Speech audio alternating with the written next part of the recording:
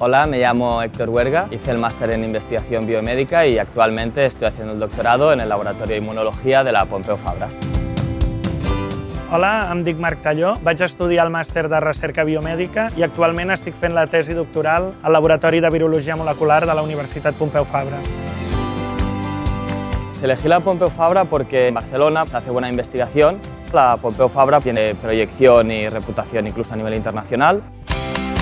Se ofrecía todo en inglés, no solo que se ha impartido en inglés, sino que tú, a nivel de presentaciones, también te has de expresar en inglés. És l'idioma de la ciència i ara mateix totes les publicacions, totes les conferències, les col·laboracions necessites l'anglès.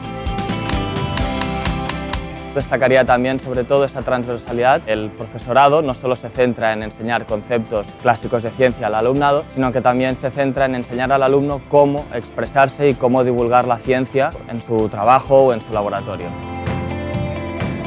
El màster el que ajuda és una mica a intentar buscar solucions a tots aquests problemes que et pots encarar durant el doctorat. Enseñarte a pensar un poco ¿no? a, a nivel científico.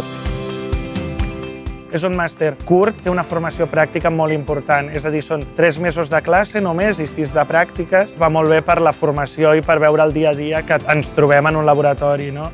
Tu tens un projecte a realitzar durant aquests sis mesos, un projecte que neix de tu. És molt gratificant veure que des de zero tu construeixes una cosa que pot arribar a la llarga a ajudar a la societat o en el coneixement. No?